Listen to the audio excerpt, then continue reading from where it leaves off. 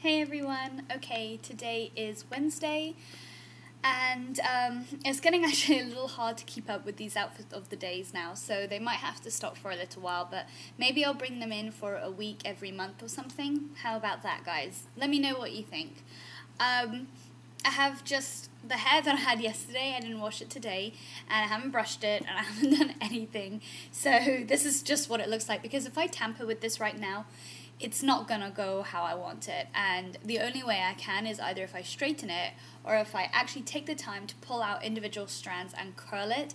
But then um, it will be a mix of perfect curls and frizz, so that means I would have to curl my whole hair. And I just cannot be bothered to do anything like that. So I just leave it like this, the messy bedhead look, kind of beachy, messy waves, right? Um, on my face today, for a foundation, I decided to open up my Stila Kat yeah, I know. I wasn't supposed to open it up, but I did. I really wanted to try it, and I used their um, that little sample tube of their new sort of foundation, which is also a concealer, a primer. It's like an all-in-one thing, and I used that to cover my face today, and it's done pretty good coverage. So I didn't put any concealer on my face either. It didn't completely mask them, but it was enough to be natural, and it didn't show very much after I put like blusher and bronzer, so it's hidden quite well. So I really like that. But if you have maybe darker scars or blemishes, you still might need a concealer. But overall, I think this is a very nice light coverage. Um, foundation type thing so far I don't know I've just put it on um, bronzer NARS Desire which is a pink but I really buffed it out just to give a flushed look um, on my eyes today, I just have Brulee as the highlight.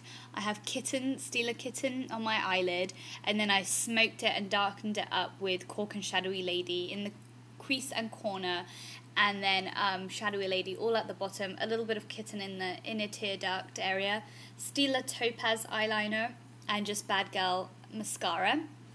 On my lips, again, I just have um, the Peach color from the Revlon um, new lipstick range, and I really love that color. It's my favorite color out of all of them. And as an eyeliner, I didn't really put like an eyeliner on top of my lips. I just smoked out Shadowy Lady, as you can see, just to smoken it and darken it up. It just makes my um, eyelashes look a little bit darker, and I need that. Otherwise, I look kind of um, dead looking if I don't have some sort of deepness right at the roots. Then on my nails, I just have Espresso Your Style by OPI, which is probably one of my favorite summer colors. And I have a review and loads of swatches on my blog. It's um, one of like the most recent ones, I think. So just look down there. It has like a really good um, swatch on what the color really is like. So I really like that. Then on my wrist, I just have my Michael Kors watch, which is like a tortoise shell.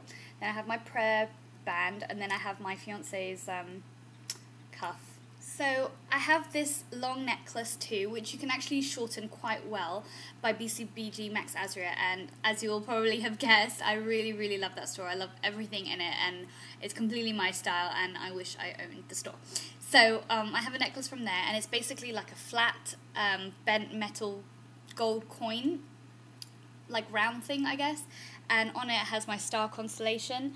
And so it's just like three uh, it's like kind of like a triangle but not joined together. And each one has like a little starburst and a little diamond rhinestone in between. It's kind of hard because it's like a sort of a bent metal so it's all going to just reflect. But i hope you can see that. And at the back it says aries because that's my star sign.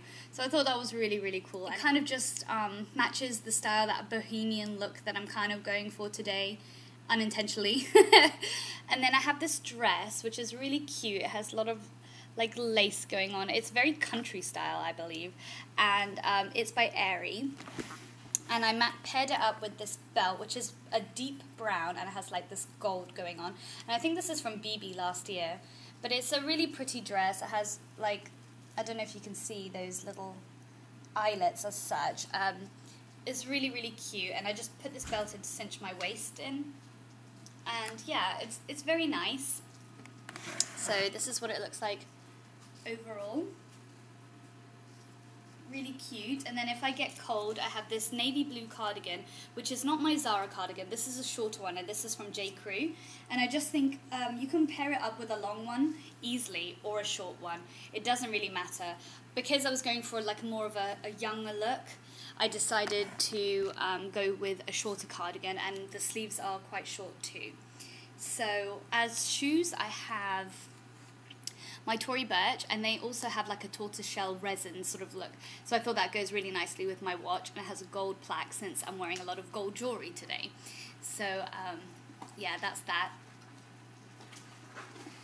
Then of course I have my Neverfull again. You guys always want to see my bags in it, even though it's the same one every day, but that's what I look like. So I'm going to go to the back so you can see the whole outfit.